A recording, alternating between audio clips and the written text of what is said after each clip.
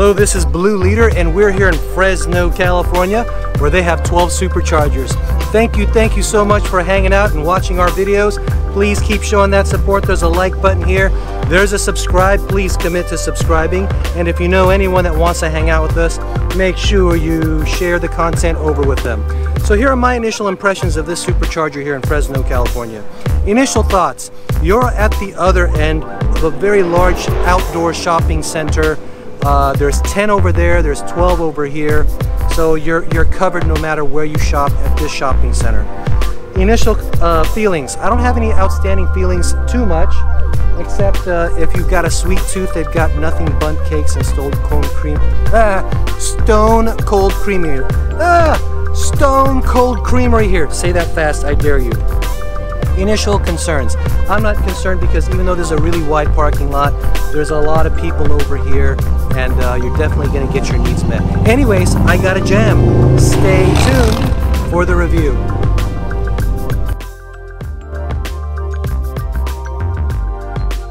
I like it, it's good. Uh, a lot of good restaurants, uh, nice shopping center.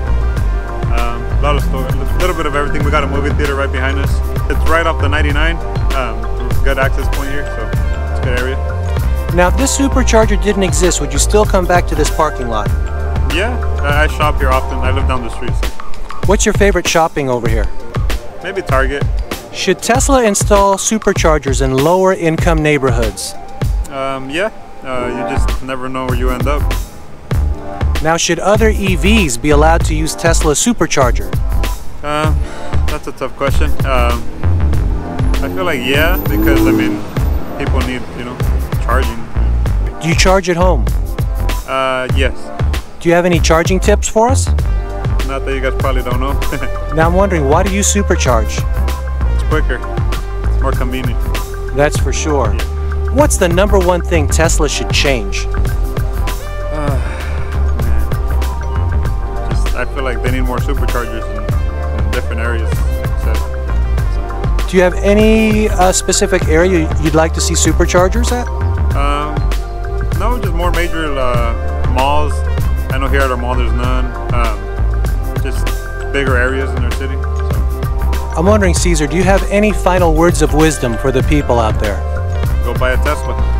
You got it. Thank you so much. We'll see you later, okay?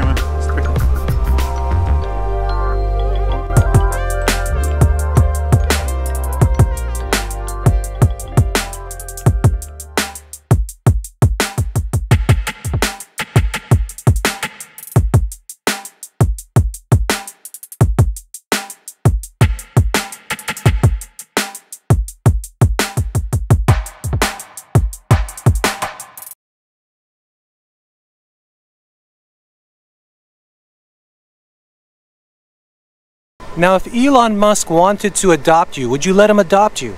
Yes. How come? He's rich.